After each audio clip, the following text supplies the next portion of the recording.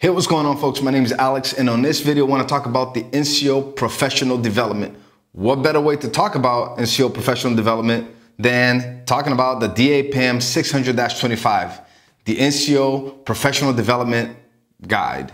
Kind of makes sense, right?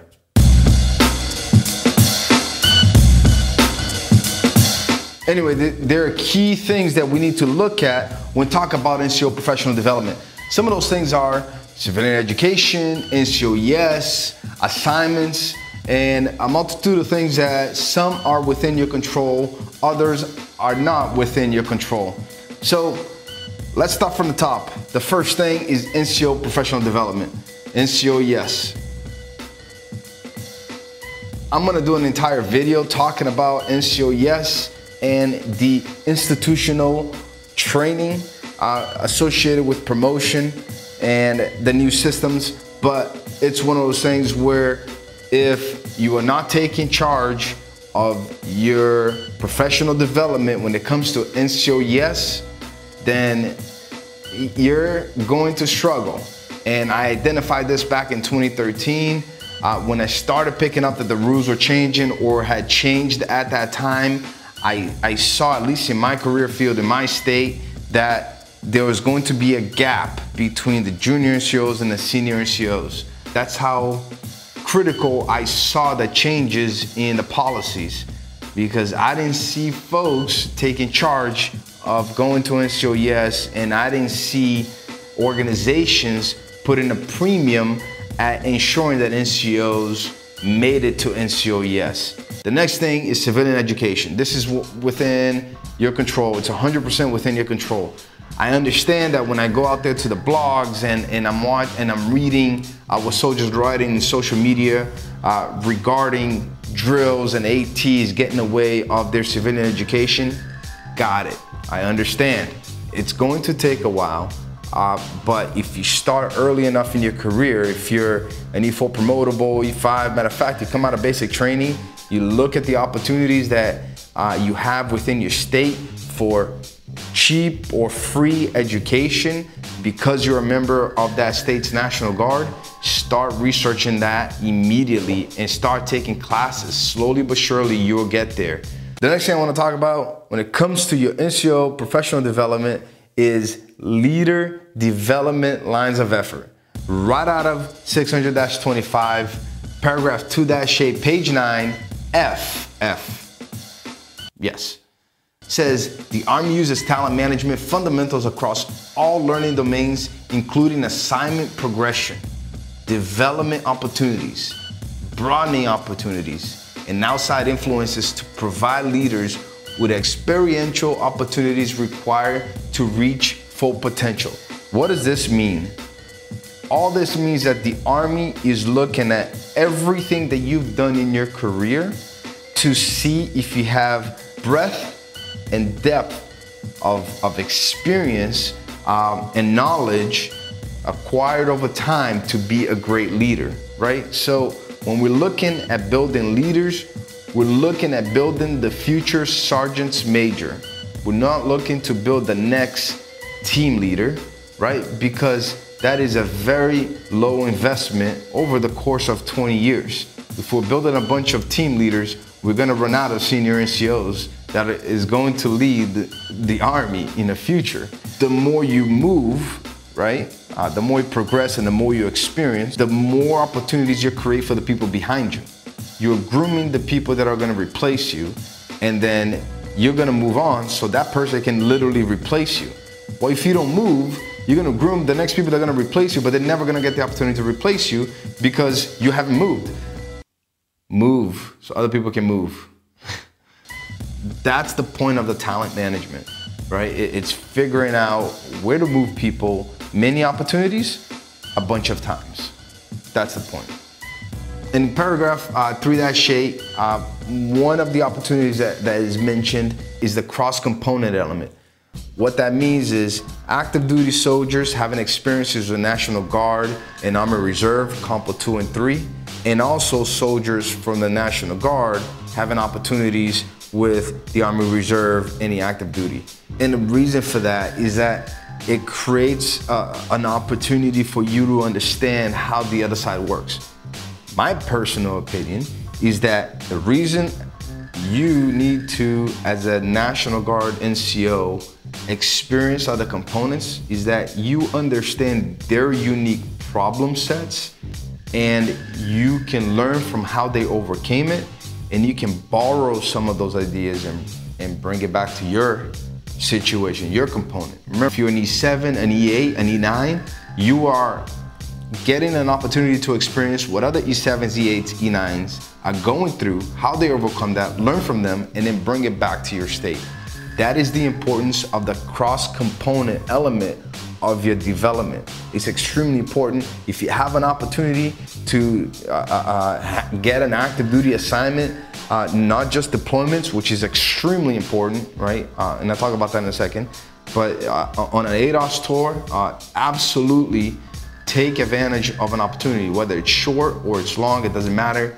at least once in your NCO career, get take an opportunity to do some full-time work outside of a contingency environment. Talking about assignments, there's one thing I want to highlight, which is that just like the Officer Corps, the NCO Corps, we have key developmental assignments and then we have broadening assignments. The key developmental assignments for NCOs in a traditional line unit, in the team leader, your squad leader, your platoon sergeant slash section sergeant, first sergeant, command sergeant major.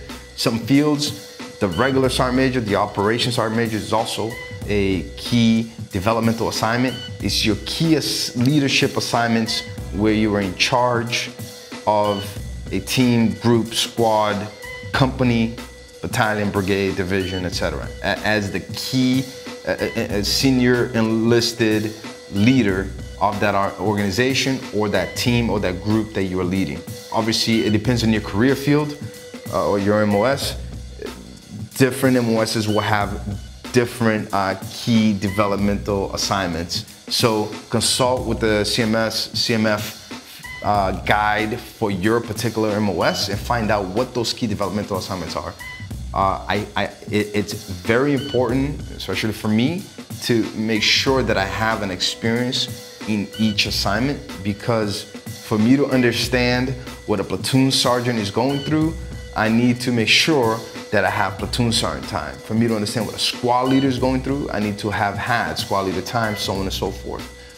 Nothing will fault a leader quicker is a leader who hadn't had their key developmental assignment or skipped a developmental assignment because you don't understand the intricacies of that position and you make bad assumptions and bad leadership decisions, make bad recommendations to your officer counterpart, it's important for you to hit every single development assignment. Do I need to talk about developmental assignments anymore?